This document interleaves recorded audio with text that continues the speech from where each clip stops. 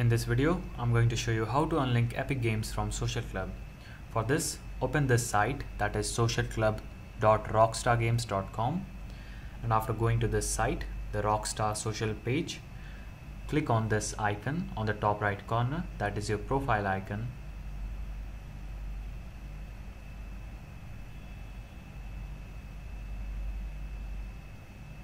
click on that profile icon then click on help option and then go to support section on the drop down menu.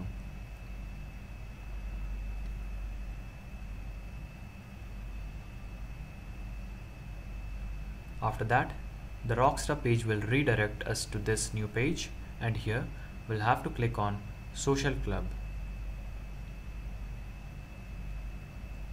Click on it and here we'll have to choose why do we need help and we'll click on social club account and then account linking.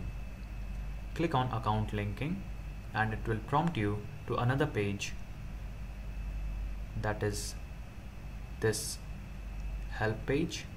And here we'll have to add a description and write a letter to social club to unlink our account. So we'll have to copy our Epic Games ID by going to Epic Games Launcher and clicking on the account section from the profile icon. Click on that account section. It will open this page in a browser. Then we'll have to copy this ID from the Epic Games account settings page, copy it and then paste here in the description. So we'll have to write a message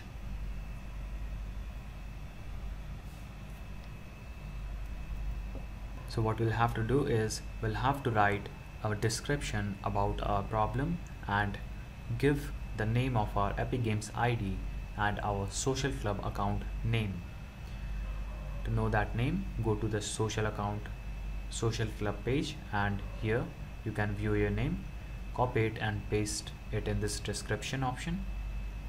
After filling out all the informations and writing down a letter you'll have to you will have to click on submit web ticket click on this option and this email will be sent to the Rockstar Games.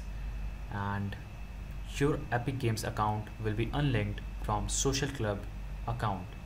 So that's how you can do it. Like and subscribe if you found this video helpful